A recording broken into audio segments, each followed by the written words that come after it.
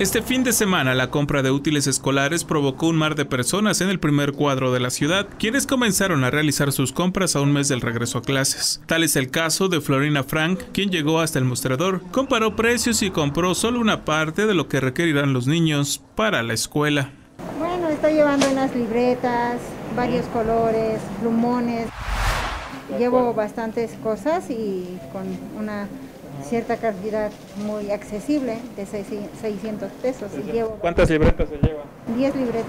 Quienes se dedican a este negocio en la 10 Poniente entre 5 de mayo y 10 Norte en el corazón del centro histórico reportaron un ligero incremento en sus ventas del 30% desde hace un par de días. Ya en algunas escuelas ya les dieron las listas, entonces los padres de familia ahorita están cotizando más los artículos que son como libretas, lápices, colores, sacapuntas este, y algunos artículos también de, gel antibacterial, cubrebocas. Mientras tanto, otros buscan mochilas, libros, zapatos, entre otros artículos necesarios para regresar a las aulas.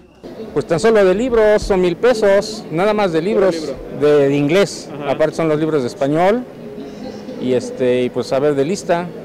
De acuerdo. ¿Como para cuándo esperan comprar más o menos? ¿Tienen pensado? Pues yo creo que ya la próxima semana, si no luego también las tiendas empiezan a abarrotar En los aparadores ya se observan uniformes y zapatos con precios que van de los 30 pesos, una camisa blanca 119, un pantalón 129 y pants en 159 pesos. Suéter 179 pesos. Así que vaya preparando su bolsillo porque no hay vuelta de hoja. Con imágenes de Aurelio Martínez, Fernando Mendoza, reportero, SED Noticias.